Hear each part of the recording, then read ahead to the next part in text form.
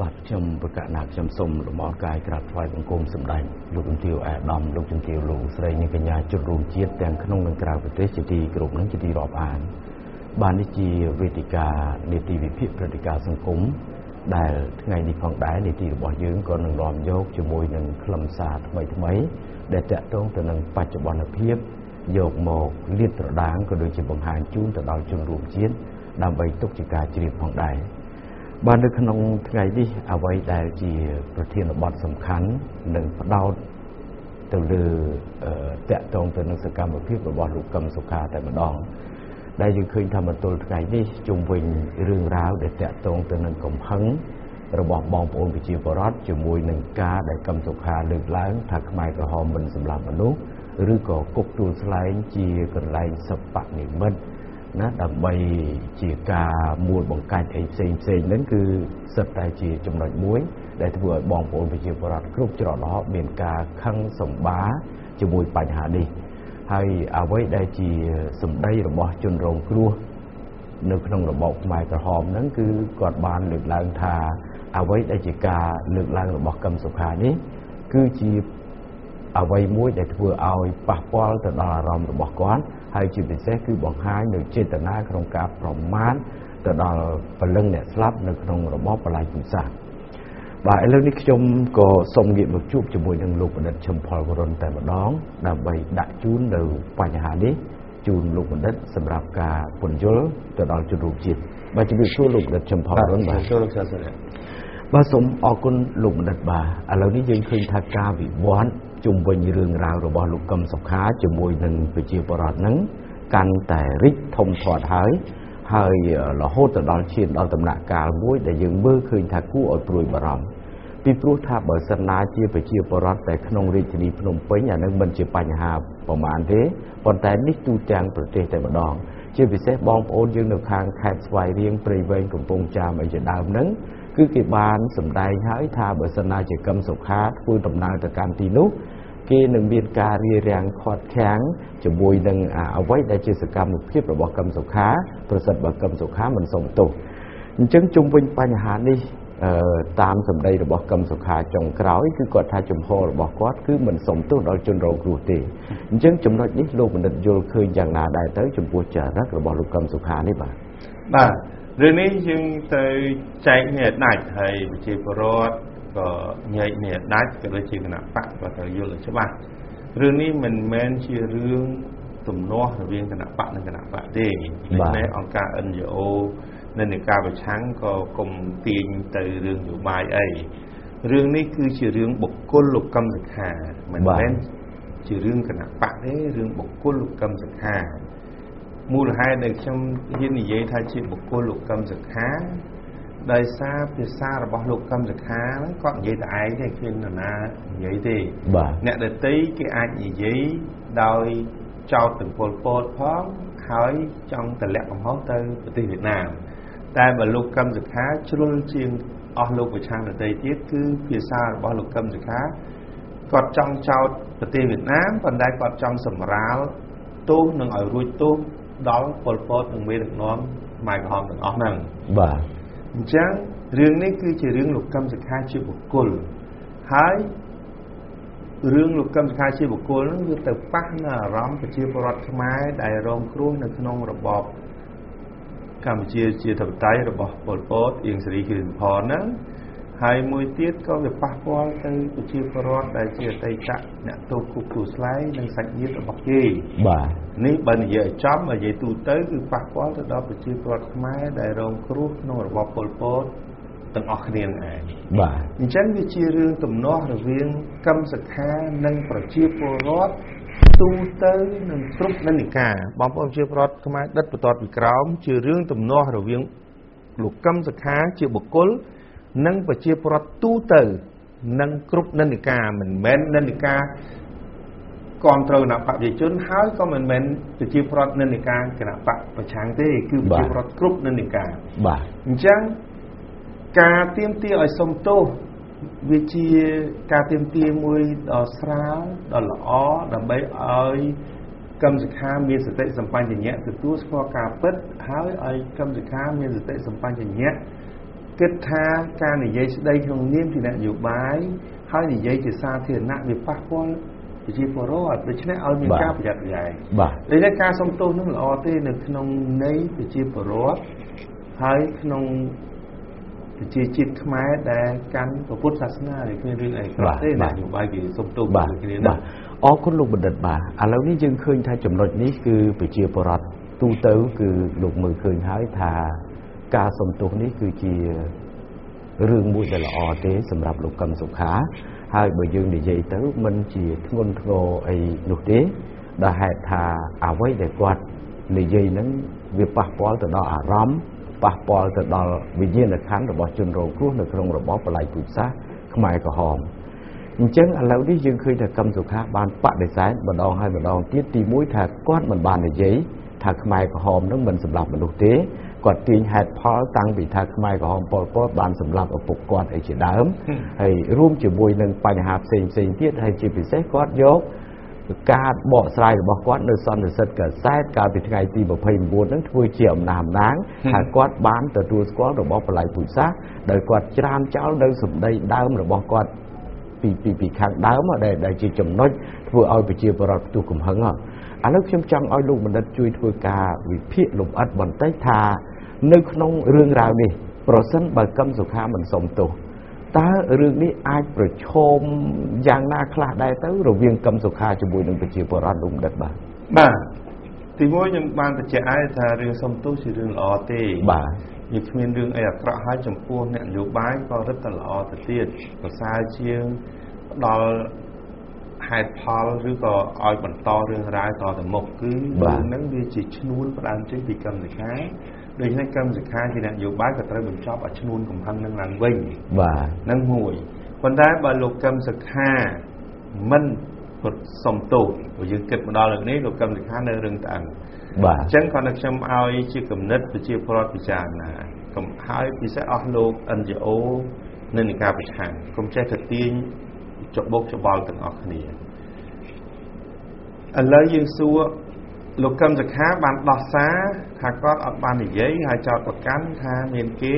កាត់តហើយមិនមែនតែមានគេទេគាត់ចោទថាជាយុទ្ធនាការរបស់គណៈបកប្រជាជនដើម្បីបង្ខូចឈ្មោះគាត់បាទឥឡូវគណៈបកសង្គ្រោះជាតិរបស់កឹមសខាសំស៊ីនោះនេះពិចារណាទាំងអស់គ្នាប្រជាពលរដ្ឋខ្មែរគ្រប់និន្នាការជាពិសេសប្រជាពលរដ្ឋខ្មែរគ្រប់តគណៈបកប្រឆាំងនោះនេះពិចារណាទាំងអស់គ្នាឥឡូវឃើញថានិយាយពីយូរមកហើយប្រៀបធៀបលោកកឹមសខានិយាយនៅសន្និសិទសារព័ត៌មាននៅក្នុងគណៈបក មុននឹងលោកកឹមសុខាចាក់ទៅក្រៅប្រទេសបាទហើយនឹងប្រហែលសប្តាហ៍មុន គឺមួយថ្ងៃក្រោយពីលោកជុំមីអឺធ្វើសន្និសិទកសែតហើយលោកកឹមសុខាបានសម្ភាសនៅវិទ្យុអាស៊ីសេរីយើងនិយាយនេះអស់ឥឡូវទៅសួរលោកកឹមសុខាថាតើអ្វីដែលលោកកឹមសុខានិយាយនៅក្នុងវិទ្យុអាស៊ីសេរីហើយនឹងអ្វីដែលលោកកឹមសុខានិយាយនៅក្នុងសន្និសិទសារព័ត៌មាននៅក្នុងទីបកគាត់ហ្នឹងមិន មានន័យដូចគ្នាឬខុសគ្នានិយាយប៉ុណ្ណាចាបាទហើយគេថាអ្នកផ្សេងគេកាត់តដែលកម្មសខាចង់ប្រឡប់ប្រជាពលរដ្ឋលោកកម្មសខានិយាយនៅវិទ្យុអាស៊ីសេរីក៏ថានេះជាបទវិភាគនយោបាយរបស់គាត់ឯកទៅលើឯកសារដែលចងក្រងខាងវត្តសាស្ត្របាទហើយនឹងស្អីផ្សេងផ្សេងទៀតរបស់គាត់ហ្នឹងដូច្នេះបើសិនជាការវិភាគនយោបាយរបស់គាត់វាខុសពីអ្នកដតីសូមឲ្យអធិស្ឋានគាត់ផងណាបាទតែហ្នឹង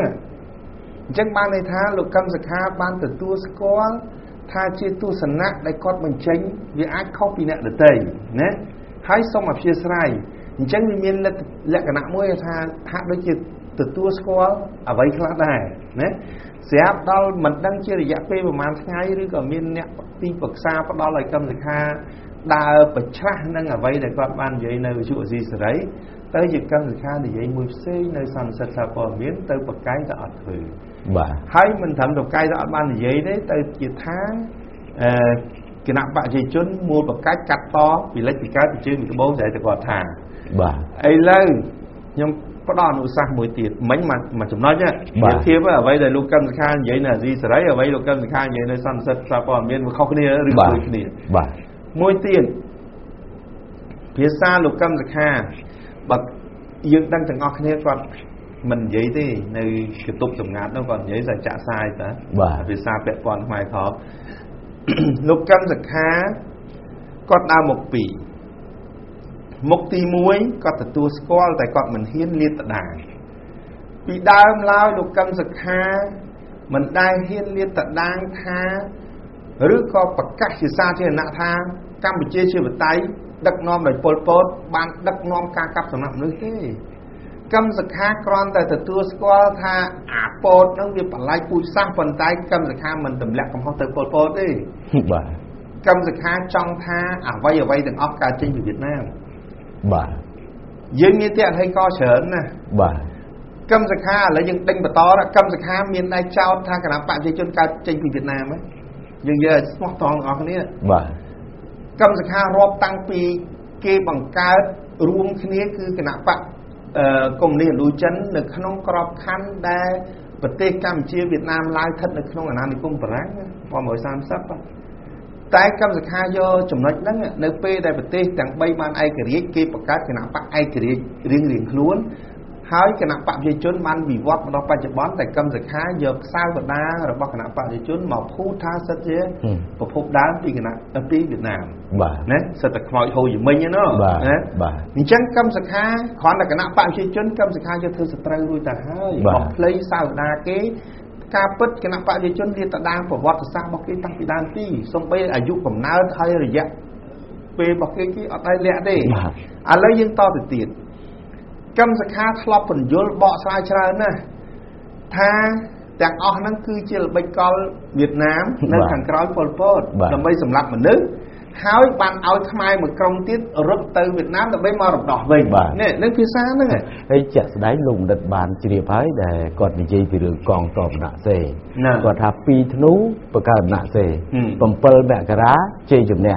គាត់ថារយៈពេលតែមួយខែជាងទេមួយខែប្រហែលថ្ងៃទេ គាត់ថាផ្ដួលរំលំខ្មែរក្រហមបានគាត់ថាទោះបីជាបលាំងកម្លាំងរបស់ប្រអិនក៏មិនអាចផ្ដួលរំលំរបបខ្មែរក្រហមបានដែរគាត់ថានេះគឺជាវៀតណាមរៀបទៀតនេះជាសម្ដីជាក់ស្ដែងមួយអញ្ចឹងបានថាភាពកលេចកលុចនេះ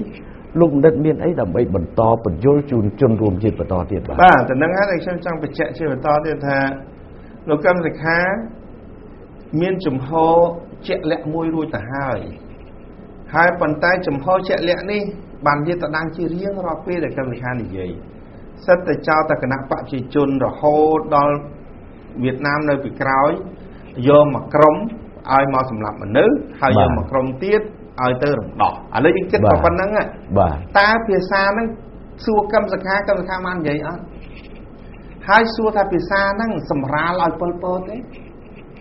ហើយភាសាហ្នឹងវាតាក់ណៃណងគ្នាជាមួយនឹងរឿងភាសាដែលកម្មសខានិយាយពីគុកទួលស្លៃភាសាដែលកម្មសខានិយាយពីរឿងរបស់ប៉ុលពតបល័យពិសា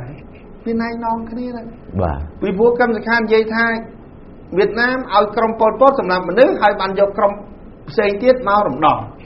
នឹងបានន័យថាប៉ុលពតអត់ទោសហើយហ្នឹងប៉ុលពតត្រូវគេបញ្ជាបើយើងស្ដាប់កម្មសខានិយាយប៉ុលពតត្រូវវៀតណាមបញ្ជាណាបាទហើយបើអញ្ចឹងដដែល បើពលពតត្រូវវៀតណាមបញ្ជាទៅទៅនាំគ្នាបង្កើតតឡាការកាត់ទោសខ្មែរក្រហមអីនួនជាគៀសផនអឺមានណាធំជាងពលពតហើយនួនជាគៀសផនក្រុមពលពតអញ្ចឹងបើពលពតត្រូវវៀតណាមបញ្ជាហើយតែបើចាំបាច់កាត់ទោសនួនជាគៀសផនអីទៀតដោះលែងបណ្ដោយទៅបញ្ចប់ហ្មងទៅឲ្យបរទេសឲ្យបរាជ័យអាម៉ាស់មុខឲ្យចាញ់កម្មសខាអស់គ្នាមកទៅមានចំណុចមួយទៀតដែលគួរឲ្យចាប់អារម្មណ៍មែនទែនលោកបណ្ឌិត នៅក្នុងខ្សែអត្ថសម្លេងដដែលហ្នឹងគឺកឹមសុខាបានលើកឡើងគាត់ថាខ្មែរក្រហមប៉ុលពតកើតមកពីណាគាត់ដឹងណាហើយគុកទួលស្លែងកើតមកពីណាគាត់ដឹងហេតុអីបានជាខ្មែរក្រហមសម្លាប់មនុស្សគាត់ដឹងអញ្ចឹងនេះគឺជាសម្ដី3ម៉ាត់ដែលកឹមសុខាបានលើកឡើង អញ្ចឹងត្រង់ចំណុចនេះប្រជាពលរដ្ឋកំពុងតែងើឆ្ងល់ថាជុំបើកឹមសុខាដឹងគ្រប់រឿងនេះហេតុអីបានជាសាលាក្តីខ្មែរក្រហមមិនមិនមិនមិនក៏ហៅកឹមសុខាទៅសាកសួរពីព្រោះគាត់ដឹងជាងខៀវសំផនជាងពលអៀងសេរីទៅទៀតទេបាទរឿងនេះវាជារឿងមហាសាស្ត្ររបស់កឹមសុខាទេប៉ុន្តែបើយើងចង់ទាញទៅលើរឿងដែលកឹមសុខាត្រូវទទួលមកទៅលើពាក្យសម្ដីរបស់គាត់បាទកឹមសុខាកុំចោតប្រកាន់ថាគេកាត់តបាទនេះដែលខ្ញុំចង់លើកចាក់លេខកឲ្យបងប្អូនជាពលរដ្ឋ យល់ឃ្លាឃ្លោកដែលគេចាក់ផ្សាយគ្រប់ទីកន្លែងដែលកម្មសខានិយាយថាពលពតវាមិនមែនភ្លឺទេបាទបើវាពិតជាសម្លាប់មនុស្សប្រកបមែនវាមិនចាំបាច់ទុកគុកទួលស្លែងតាំងឲ្យគេថតណាឥឡូវកម្មសខាថា clear ហ្នឹងនេះទុកសភាអាស៊ីសេរីព្រឹកមិញបាទថា clear ហ្នឹងគេកាត់ចុងកាត់ដើមយកមកដាក់បាទឥឡូវថាកាត់តាមកម្មសខាមកទៅឥឡូវយើងគុំល្ងង យើងវិភាគឥឡូវទុកឲ្យហ្នឹងដោយឡែកយើងវិភាគមកកម្មសខាដែលចោទថាប៉ុលពតធ្វើតាមបញ្ជាវៀតណាមនោះសម្រាប់មនុស្សនោះតើប៉ុលពតរួចខ្លួនទេគឺរួចបាត់ហើយហ្នឹងបាទតើខៀវសំផននួនជាគួរទៅរួចខ្លួនទេបើកម្មសខានិយាយចឹងហើយហ្នឹងបាទនឹងមកបើសិនយកភាសាកម្មសខាវាចប់ហើយហើយកម្មសខានិយាយហ្នឹងវាមានណៃណោនេះដេញបន្តរហូត ដល់ចោតប្រកាន់គណៈបកប្រជាជនសិទ្ធិវៀតណាមទាំងអស់ហ្នឹងភាសាកម្មសខាបាទចឹងរឿងនៅតែប៉ុណ្ណេះទេកម្មសខាបើមិនទទួលស្គាល់ការពិត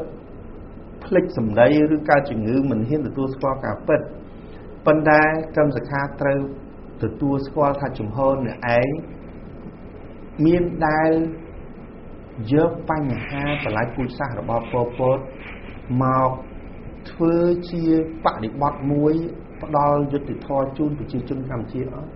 បាទហេតុអីបានកម្មសខាមិនព្រមនិយាយពីការកាត់ទោសប៉ុលពតអៀងសេរីខៀវសំផននួនជាបាទមិននៅពេលដែលតឡាការ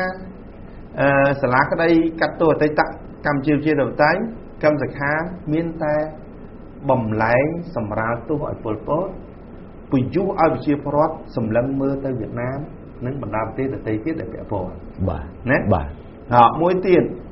តណាគ្នានឹងគេកាត់ទោសកម្មសខាមានតែរុញចោតប្រកាន់ថ្នាក់ដឹកនាំគណៈបកប្រជាជនកម្ពុជានិងដឹកនាំថ្នាក់ដឹកនាំរដ្ឋាភិបាលសិតតែមេដឹកនាំខ្មែរក្រហមឥឡូវយើងនិយាយឲ្យស្មោះត្រង់ទាំងអស់គ្នាកុំថាកុំឲ្យកម្មសខាមានលេសក្នុងការមួប្រកាច់ឥឡូវយើងមើលមានពីណាធំជាងប៉ុលពតបាទដឹកនាំកម្ពុជាជាតែបន្ទាប់មកពីណាទៀត នួនជាមិនគេហៅទាំងអស់គ្នាបងធំទី2បាទតបមកមានអៀងសេរីមានខៀវសំផនមានស្អីតទាំងហ្នឹងរហូតដល់សុនសេននេះទៅជើងជើងខ្លាំងអស់ហើយបាទហ่าឥឡូវហេតុអីបានកម្មសខាទៅសម្លឹងឃើញសម្ដេចទាំង3នៃថ្នាក់ដឹកនាំកម្ពុជាបច្ចុប្បន្ននិងថ្នាក់ដឹកនាំអ្នកប្រជាជនឥឡូវសូម្បីតែសម្ដេចជាស៊ីមសម្ដេចហេងសំរិនសម្ដេចហ៊ុនសែនប្រវត្តិរូបរបស់គាត់ទាំង3ពុំបាន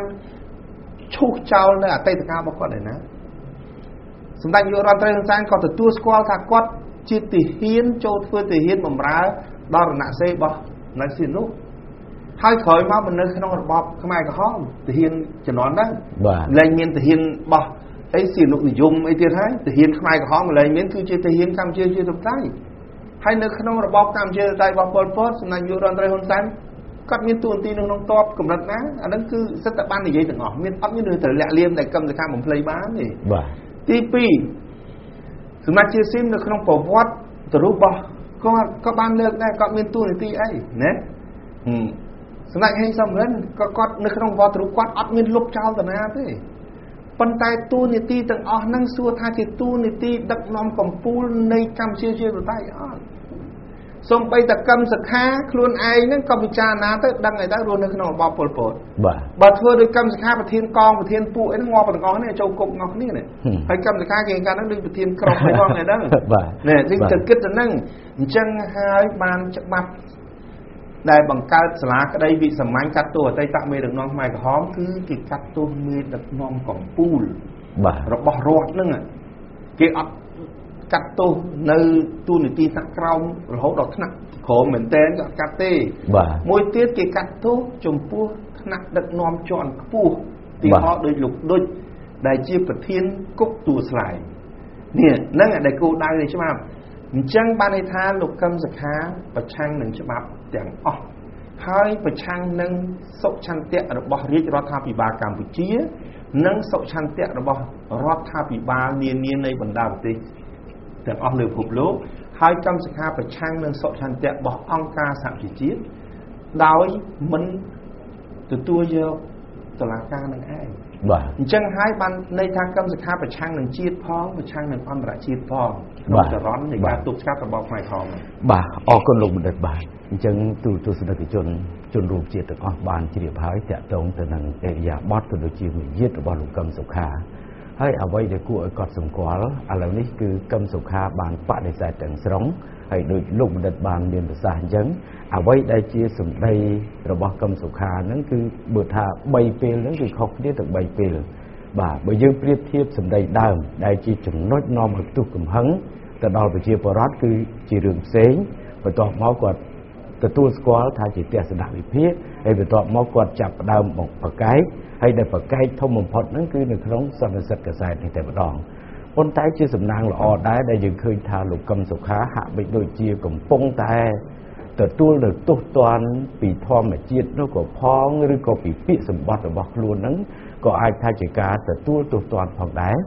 ដែលហេតុថាគាត់បានលើកពីប្រវត្តិកំសត់របស់គាត់នៅក្នុងសន្និសិទកសែត គាត់បានបញ្ជាក់ថាឪពុករបស់គាត់គេយកទៅសម្លាប់ទាំងកណ្ដាលរាត្រីបាទនេះជាសម្ដីរបស់គាត់ប៉ុន្តែគាត់ជួនអីអ្វីដែលគាត់បាននិយាយនិយាយពីមុនមកនោះគាត់មិនដែលទទួលស្គាល់ថាខ្មែរក្រហមប៉ុលពតសម្លាប់មនុស្សទេរហូតទៅដល់គាត់ការពារខ្មែរក្រហមដល់ទៅថាខ្មែរក្រហមប៉ុលពតគេយកពុកគាត់ទៅសម្លាប់ហើយគាត់អត់មានទៅខឹងអីមិនតិចជាមួយនឹងខ្មែរក្រហមនឹងថែមទៅទៀតផង អញ្ចឹងទៅនឹងដែលសូមឲ្យបងប្អូនយើងពិចារណាទៅលើចរិតរបស់លោកកឹមសុខាហ្នឹងថាតើគាត់មានភាពក្រឡេកក្រឡុចកម្រិតណាដែលសូមឲ្យបងប្អូនយើងទទួលពិចារណាទាំងអស់គ្នាឥឡូវនេះកម្មវិធីរបស់យើងក៏សូមពេលសម្រាប់បន្តិចសិនហើយបន្ទាប់មកយើងជួបគ្នាទៀតបាទបាទលោកស្រីទូទស្សនិកជនជាទីគ្រប់នឹងជាទីរាប់អានបាទ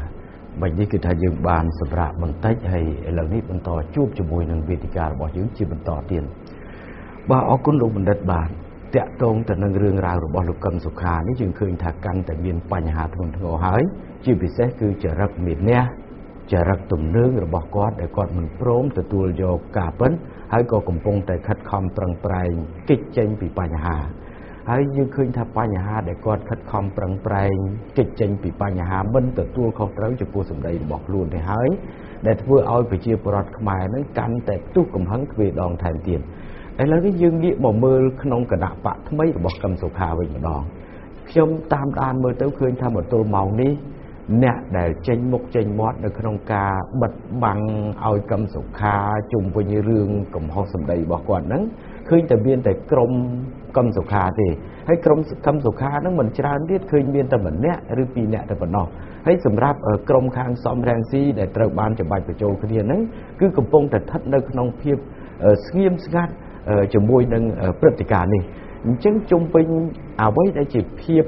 មិនទទួលខុសត្រូវចំពោះសម្ដីរបស់ខ្លួនរបស់កឹមសុខានេះ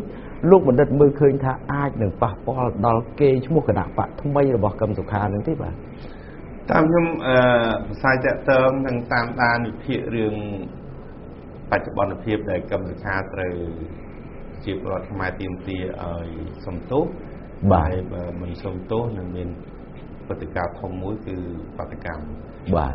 ពីពេលនឹងមកគឺខ្ញុំមានការតាមដានមើលឃើញថាខាងក្រមលោកសំស៊ីមិនត្រឹមតែស្ងប់ស្ងៀមការពារលោកកម្មសខាទេ គឺបានបង្ហាញអំពីការខកចិត្តខកចិត្តហ្នឹងដោយសារអីការខកចិត្តនេះវាកើតឡើងដោយសារពីមុន សង្ឃឹមថាសំរងស៊ីបូកនឹងកម្មសខានឹងខ្លាំងបាទ ហើយហេតុអីបានសំស៊ីសុខចិត្តទៅបូកកម្មសខាដែលមានតែ3កៅអីកាលពីនោះណាបាទដោយសារគិតថាបើមិនបោកជាមួយកឹមសខាទេកឹមសខានឹងប្រលេះយកអ្នកគ្រប់គ្រងរបស់សំរងស៊ីបាទអញ្ចឹងធ្វើឲ្យខាងសំរងស៊ីនឹងធ្លាក់ហើយខាងកឹមសខានឹងកើនបន្តិចម្ដងដោយសារសម្លេងយកពីសំរងស៊ីអញ្ចឹងនៅពេលហ្នឹងបានសំរងស៊ីសម្លឹងថាតលតែបោកជាមួយកឹមសខាដើម្បីទប់ស្កាត់ ការប្រទៀងប្រទុំគ្នា ក្នុងរង្វង់ក្រុមប្រឆាំងបាទហើយសង្ឃឹមថាកម្មសខានឹងអាចរួមសហការជាមួយនឹងក្រមសង្ឃស៊ីទៅពូនកម្លាំងតតាំងជាមួយនឹងគណៈបកប្រជាជន ហើយពួតដៃគ្នាអូសទាញឆន្ទៈជាប្រវត្តិឲ្យគ្រប់គ្រងតែដល់ឥឡូវនៅពេលដែលកម្មសខាការធ្វើត្រឹមជាអនុប្រធានគណៈបកថ្មីហ្នឹងអត់តន់ចេញចលោងកាងមកទេបាទ តែនៅពេលដែលបង្ខំឲ្យលោកសំស៊ីចេញលិខិតឲ្យលោកកឹមសុខាជាប្រធានស្ដីទីនោះស្រាប់តែលោកកឹមសុខាចេញតួឯកតឯងហើយឥឡូវប្រើអីលែងជាគណៈបកហើយសិតតែខ្ញុំអីអស់ហើយបាទតែនឹងហើយដែលធ្វើឲ្យក្រុមលោកសំស៊ីសម្ដែងការមិនសប្បាយចិត្តយូរមកហើយដល់ឥឡូវនេះចូលដល់ខកចិត្តខកចិត្តថា កាលពីមុនសង្ឃឹមថាបោកគ្នាខ្លាំងឥឡូវមិនបោកគ្នាខ្លាំងណាស់បោកគ្នារឹតតែធ្វើឲ្យកម្មសខារស់រឿងជាបរដ្ឋនេះដល់កម្មសខាឆ្លៀតឱកាសយកផ្លាកអនបៈថ្មីទៅបង្ករឿងជាមួយប្រជាពលរដ្ឋហ្នឹងធ្វើឲ្យមានទំនាស់ប្រជាពលរដ្ឋជាមួយកម្មសខាហ្នឹងខាងក្រមប្រឆាំងខកចិត្តបាទចំណុចហ្នឹងហើយដែលក្រមលោកសំនឹងស៊ីកំពុងពិចារណា ហើយខ្ញុំក៏ផ្ដល់ជាគំនិតពិចារណាដែរថានាំគ្នាពិចារណាអស់គ្នាទៅអ្វីដែលកឹមសុខានិយាយពីរឿងគុកទួលស្លែងជាកណៃសបនិមិត្តអំពើបលាយពូជសាសរបស់កម្ពុជាជាធិបតេយ្យកម្មសខាមិនទទួលស្គាល់ថាជាអំពើរបស់ពលពតបាទតើភាសារបស់កម្មសខាតំណាងឲ្យឆន្ទៈគណៈបកប្រឆាំងអត់រឿងនៅតែប៉ុណ្ណេះទេ បើក្រុមលោកសំស៊ីក៏ដូចនឹងក្រុមរបស់លោកកឹមសខារួមគ្នាថាអ្វីដែលកឹមសខានិយាយគឺឆ្លុះបញ្ចាំងនៅឆន្ទៈរបស់គណៈបកខ្លួនតោះអានឹងគិតមិនជំនាញទៀតបាទប៉ុន្តែបើគណៈបកសង្គ្រោះជាតិគិតថាអ្វីដែលលោកកឹមសុខានិយាយមិនមែនជាកម្មវិធីនយោបាយនិងមិនមែនជាគោលនយោបាយរបស់គណៈបកសង្គ្រោះជាតិគណៈបកសង្គ្រោះជាតិមិនមែនមានឋានៈដឹកនាំទៅកឹមសុខាម្នាក់ទេបាទ គួរតែពិចារណាអំពីបុគ្គលិកលក្ខណៈនិងសមត្ថភាពនិងគុណសម្បត្តិនយោបាយរបស់កម្មវិធីម្ដងទៀតបាទចំណុចនេះយើងថាមិនចង់ទៅលូកលាន់ផ្ទៃក្នុងគណៈបកប្រឆាំងទេប៉ុន្តែដោយសារកម្មសុខាធ្វើឲ្យប៉ះពាល់ដល់ប្រជាពលរដ្ឋធ្វើឲ្យប្រជាពលរដ្ឋមានការឈឺចាប់អាចឈានទៅដល់ភាពវឹកវរមុនការបោះឆ្នោតអញ្ចឹងវាប៉ះពាល់ដល់យើងទាំងអស់គ្នា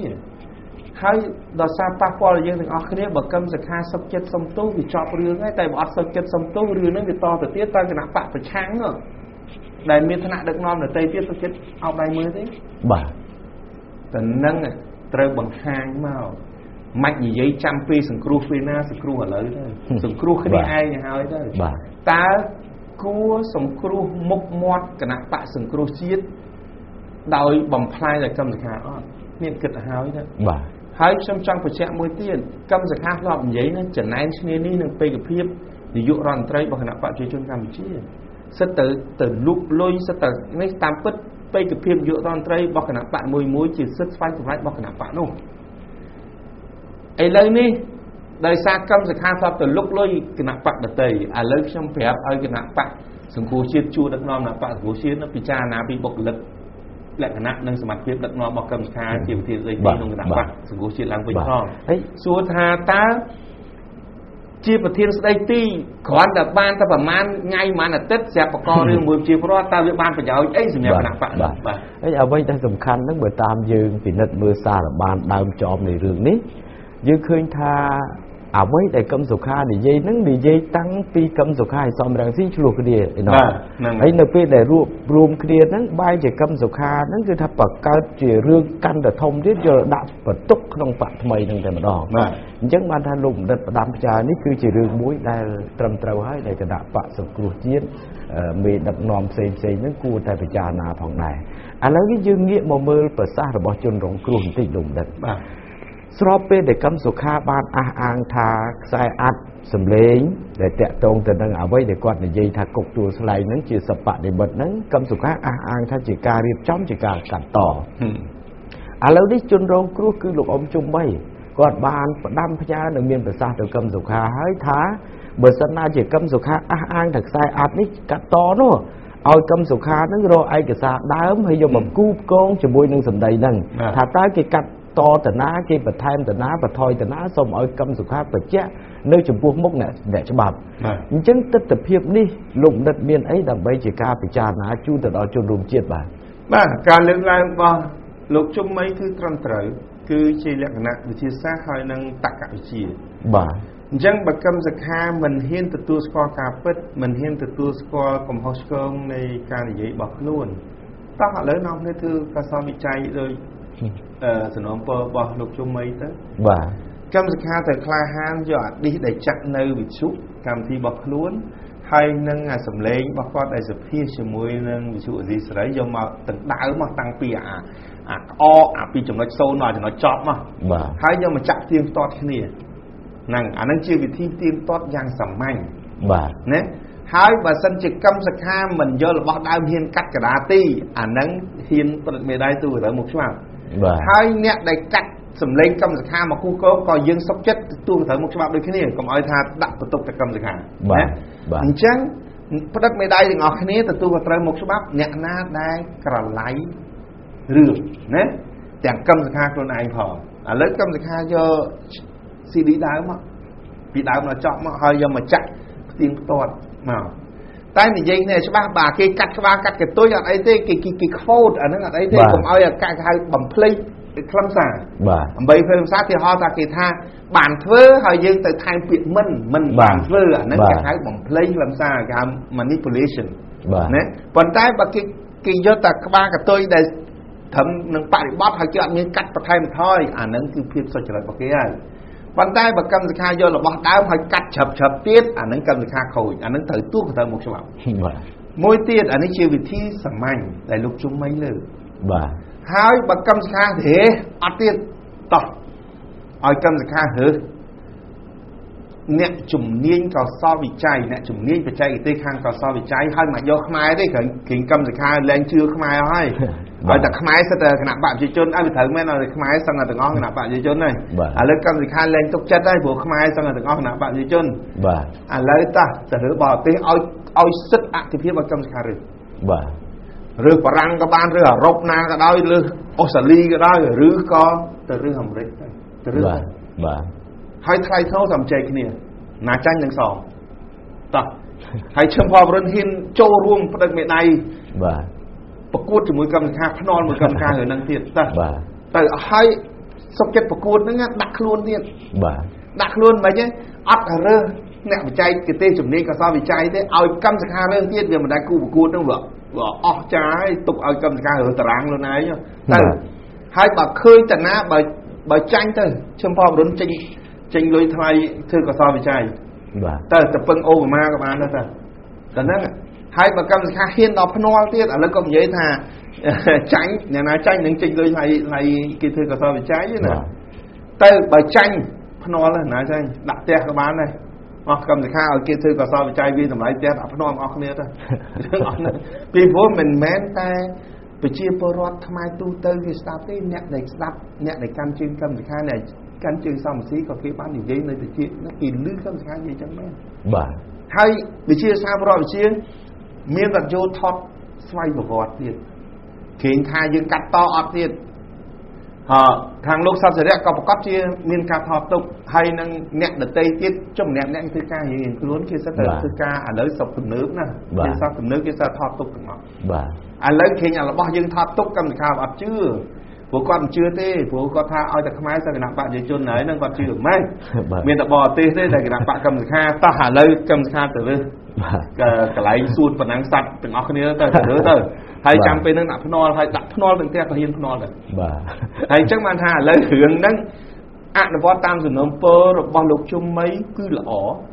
សាមញ្ញអត់អស់លុយបាទប៉ុន្តែទាមទារភាពស្មោះត្រង់និងការទទួលខុសត្រូវចំពោះមុខច្បាប់ព្រឹកនេះដែរព្រោះខ្លាចកម្មសិក្ខាកាត់បាទ បើកម្មសិក្ខាស្មោះត្រង់ព្រោះយើងទាមទារភាពស្មោះត្រង់ទេបាទចាក់អាឌីសអ្នកដែលបានផ្សាយចេញហើយចាក់អាឌីសដើមរបស់កម្មសិក្ខាផ្ទៀងណាឲ្យរត់ទៅមើលណាហើយព្រឹត្តមេដាយគឺយើងពឹងផ្អែកលើភាពស្មោះត្រង់អត់បាទពឹងផ្អែកលើបច្ចេកទេសទេបាទតែបើសិនជាភាគីទាំងសងខាងឬក៏លោកជំមីគិតថាហេខ្លាចកម្មអត់ទុកចិត្តថាកម្មសិក្ខាស្មោះត្រង់ព្រោះនិយាយហើយហ៊ានប្រកែករឿងអីមិននេះតាមខ្ញុំដឹងណាប្រម៉ូឌីសពីវិទ្យុ សបុកឃ្មុំដែលជួលប្រម៉ូអស់លីងទៅជិលនិយាយតែក៏គេបានថតទុកដែរបាទគេមានឌីសថតទុកទៀតដែរហើយអញ្ចឹងកម្មសិក្ខាកុំវាន់កបើតាមសំណុំពលលោកជំមីកម្មសិក្ខាអត់មានភាពស្មោះត្រង់យើងអាចធ្វើតាមវិធីបច្ចេកវិទ្យាកោសលវិច័យហើយបច្ចេកវិទ្យាកោសលវិច័យ កុំយកខ្មែរតើឲ្យកម្មសិក្ខារើសទៅបរទេសក៏ដោយអីក៏ដោយហើយសើអត់ទុកចិត្តបារាំងទៀតទៅទៅអាមេរិកទៅហ្មងទៅកុំខ្វល់ពេក ហើយបើទៅអាមេរិកខ្លាចប៉ះអាគណៈបកណាអត់ស្រឡាញ់កម្មសិក្ខាឲ្យកម្មសិក្ខាទៅលុនតួអឺអូបាម៉ាហ្មងទៅសុំហ្មងទៅបាទហើយចាំយើងចាំមើលលទ្ធផលរបស់គ្នាអរគុណលោកបណ្ឌិតបាទបាទឥឡូវតាក់ទងទៅនឹងភាពកលេចកលុចរបស់លោកកឹមសុខានេះគឺកំពុងតែល្បីល្បាញហើយរបស់កឹមសុខាហ្នឹងដែលខ្ញុំនិយាយពីរឿងល្បីល្បាញរបស់កឹមសុខាហ្នឹងគឺល្បីល្បាញខាងកលិចកលុច ពីព្រោះរឿងការសារភាពរបស់កឹមសុខានេះ គឺជាការសារភាពមួយដែលអ្នកណាក៏គេឮដែរដូចជានៅវិទ្យុអាស៊ីសេរីដែលលោកបណ្ឌិតបានមានប្រសាសន៍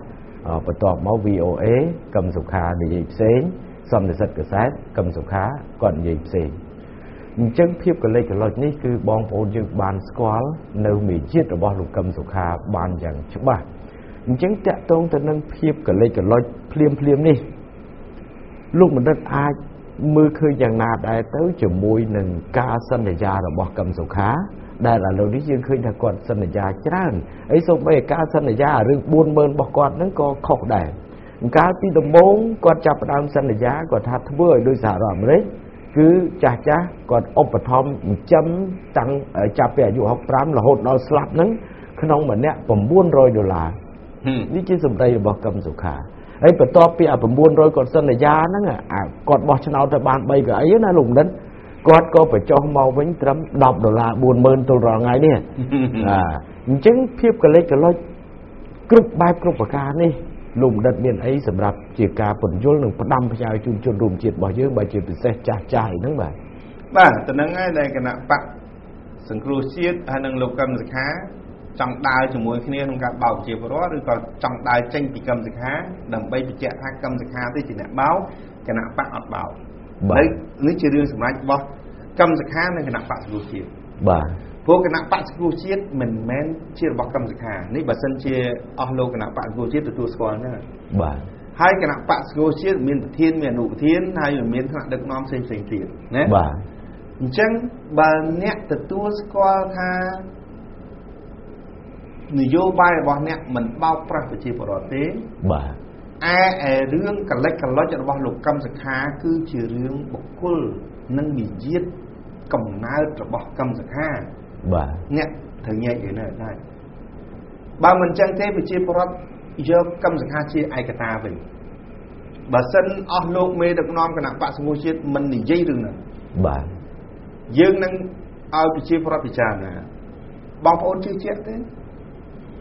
ការសន្យាគិតជាឆ្នាំ អាចគេអនុវត្តទេចុះបើត្រឹមតែការនិយាយតែប្រហែលថ្ងៃសោះបានមួយខែសោះរវាងសម្ភារកម្មសិក្ខានៅវិទ្យុអាស៊ីសេរីនិងកម្មសិក្ខានិយាយនៅសន្និសិទសាព័ត៌3ថ្ងៃ3ថ្ងៃកម្មសិក្ខាដូរទៅហើយបាទចុះនឹងកម្មសិក្ខាអត់អំណាចទេណាមានតណ្ដាទេណាតែអត់មានអំណាចទេណាដល់ចុះទងំកម្មសិក្ខាបានអំណាច ណាហើយការសន្យាគ្មានលាយលក្ខអសរតើកម្មសិក្ខាអាចឆ្លើយតបជូនជាពលរដ្ឋតាមការសន្យាវិញអត់ជឿទេបើខុសគ្នាតែពីរបីថ្ងៃនិយាយតែខ្លួនឯងរត់ចោលការពិតដោយខ្លួនឯងដល់រឿងសន្យាអាចកម្មសិក្ខាកន្លះតិចតើអនុវត្តមិនបានទេដោយសារអញ្ចេះដោយសារអញ្ចោះ អ្វីដែលនិយាយពីមុនក្នុងស្ថានភាពអញ្ចេះដល់ឥឡូវវាស្ថានភាពអញ្ចឹងកម្មសការក្លេចក្លេចបានទាំងអស់ហើយបើអញ្ចឹងជាប្រតិជឿគណៈបកសង្គមជាតិបានទេបើគណៈបកសង្គមជាតិនឹងគឺអាស្រ័យទៅនឹងភាពក្លេចក្លេចរបស់កម្មសការនេះក្នុងករណីដែលគណៈបកសង្គមជាតិមិនផ្ដាច់ខ្លួនចេញពីកម្មសការបាទបានន័យថាមិនឲ្យនៅតែការពារភាពក្លេចក្លេចរបស់កម្មសខាយើងចាត់ទុកថាកម្មសខានិងគណៈបកសង្គមជាតិតែមួយ បើកម្មសខានិងគណៈបកសង្គ្រោះជាតិតែមួយកម្មសខាកលិចកលុចដូច្នេះគណៈបកសង្គ្រោះជាតិក៏កលិចកលុចដែរបាទតែបើអស់លោកមេដឹកនាំគណៈបកសង្គ្រោះជាតិគិតថាកម្មសខានិងគណៈបកសង្គ្រោះជាតិមិនមែនតែមួយទេគឺខុសគ្នាដូច្នេះប្រជាពលរដ្ឋតាមដានមើលចរិតគណៈបកចុះតែរឿងភាពកលិចកលុចរបស់កម្មសខា យើងគ្មានអ្វីដែលយើងពិបាកតាមដាននេះគឺយើងដឹងអាចសន្និដ្ឋានថាកម្មសខាជនកលិចកលុចបាទបាទនឹងយើងអាចពិចារណាបាទបាទសូមសូមអរគុណលោកបណ្ឌិតបាទអញ្ចឹងគឺថាទូទស្សនិកជនលោកស្រីជនរួមជាតិបានជ្រាបហើយជាមួយនឹងអ្វីដែលជាទង្វើរបស់លោកកឹមសុខាទង្វើរបស់លោកកឹមសុខានាពេលបច្ចុប្បន្ននេះគឺជាទង្វើដែលយើងមិនអាចជឿជាក់បានដែលគួរឲ្យស្អប់ខ្ពើមបំផុតជាមួយនឹងអ្វីដែលជាការមិនទទួលខុសត្រូវចំពោះ សម្ដីរបស់ខ្លួន និងមុនទទួលខុសត្រូវចំពោះទង្វើរបស់ខ្លួនអ្វីដែលជនរួមជាតិសម្លឹងឃើញដែលកឹមសុខាបង្ខំចិត្តទទួលស្គាល់ថាខ្មែរក្រហមប៉ុលពតសម្រាប់មនុស្សបន្ទាប់ពីចរន្តនៃការខឹងសម្បាទៅលើកឹមសុខា ពីសម្រាប់បងប្អូនប្រជាពលរដ្ឋទូទាំងប្រទេសនេះអញ្ចឹងគឺថាកឹមសុខាសារភាពនឹងនិយាយថាខ្លួនទទួលស្គាល់របបខ្មែរក្រហមនឹងដោយសារការបង្ខំ ដោយសារខ្លាចមហាបាតកម្មរបស់បងប្អូនប្រជាពលរដ្ឋខ្មែរតែប៉ុណ្ណោះទេហើយមួយវិញទៀតសូមបងប្អូនតាមដានមើលគាត់ថាគាត់ក៏ជាជនរងគ្រោះដែរយើងកំពុងតែឆ្ងល់ថាបើសិនណាជាគាត់ជាជនរងគ្រោះមែនហេតុអីបានជាគាត់មិនទទួលស្គាល់ថ្ងៃ7មករាហេតុអីបានជាគាត់មិនទទួលស្គាល់អ្នកដែលបានរំដោះគាត់ឲ្យរួចផុតពីរណ្ដៅមរណៈនោះ អញ្ចឹងទៅនេះគឺបង្ហាញឲ្យឃើញថាកម្មសុខានេះមានភាពជាមនុស្សកពើវែងបឹងតែម្ដងមិនមែនត្រឹមតែវង្វេងចំពោះអ្វីដែលជាគុណធម៌ដែលសម្ដេចឬក៏កងទ័ពរណសេសាមគ្គីសង្គ្រោះជាតិកម្ពុជាបានរំដោះគាត់ទេសូម្បីតែឪពុករបស់គាត់បង្កើតគឺបងប្អូនយើងបានស្ដាប់ទាំងអស់គ្នាហើយគាត់ថាគាត់អត់មានឈឺចាប់អីមិនតិចលោកបណ្ឌិតអញ្ចឹងទៅនេះហើយគេហៅថាភាពអកតញ្ញូ អញ្ចឹងខ្ញុំគ្រាន់តែជម្រាបជូនអ៊ំពូមីងទូទស្សនិកជនទាំងអស់ថាបើឪពុករបស់គាត់គាត់អត់ស្រឡាញ់អត់គោរពគាត់ថាអត់ឈឺចាប់ផងគេយកទៅវាយទៅមុខគាត់ហើយអញ្ចឹងសួរថាបងប្អូនលោកតាលោកយាយសង្ឃឹមអីអារឿងប្រាក់40000ហ្នឹងនេះគឺជាល្បិចកលនៃការបោកប្រាស់ដែលកឹមសុខាយល់ឃើញថាគាត់ធ្វើយ៉ាងម៉េចឲ្យតែគាត់បានអំណាច ធ្វើយ៉ាងម៉េចឲ្យតែបានតំណែងជាតំណាងរាជដើម្បីយកលុយយកកាក់ហ្នឹងចំខ្លួនចំប្រពន្ធកូនតែនេះគឺជាចំណុចមួយដែលជនរួមជាតិត្រូវតែពិចារណាហើយដូចដែលលោកបណ្ឌិតឈឹមផលវរុនបានធ្វើការបកស្រាយជាញយញយនៅក្នុងវេទិកាវិភាគព្រឹត្តិការណ៍សង្គមរបស់យើងនេះគឺលោកបណ្ឌិតបានមានប្រសាសន៍ថា ការដែលបងប្អូនយើងច្រឡំជឿកឹមសុខាបោះឆ្នោតឲ្យកឹមសុខានេះមិនមែនបោះឆ្នោតឲ្យបងប្អូនយើងបាន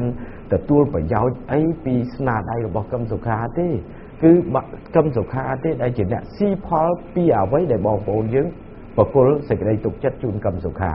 បងប្អូនប្រៀបបីដូចជាក្របីដែលកឹមសុខាជិះច្រឡំផុកតែប៉ុណ្ណោះ អញ្ចឹងបើសិនណាជាបងប្អូនយល់ពីបញ្ហានេះច្បាស់ហើយមើលឃើញនៅសមិទ្ធផលពិតដែលរាជរដ្ឋាភិបាលដែលគណៈបកប្រជាជនកម្ពុជារបស់យើងបានធ្វើនិងកំពុងធ្វើនេះក៏សូមឲ្យបងប្អូនយើងងាកមកគ្រប់គ្រងគណៈបកប្រជាជនកម្ពុជាដែលមានលេខរៀងទី4នៅក្នុងសិលឹកឆ្នោតនេះឯងការគ្រប់គ្រងគណៈបកប្រជាជនកម្ពុជា មានន័យថាបងប្អូនចូលរួមដាក់ទណ្ឌកម្មទៅដល់ជនកលេចកលុចគឺកឹមសុខានេះតែម្ដង ឥឡូវនេះដោយសារពេលវេលារបស់យើងបានឈានដល់ទីបញ្ចប់បាទលោកនិតសូមអរគុណលោកនិតសារជាថ្មីហើយក៏សូមជូនពរជនរួមជាតិទាំងអស់ទទួលបាននូវសុខចម្រើនទាំងអស់គ្នាពេលនេះខ្ញុំបាទសូមអរគុណសូមជម្រាបលាបាទ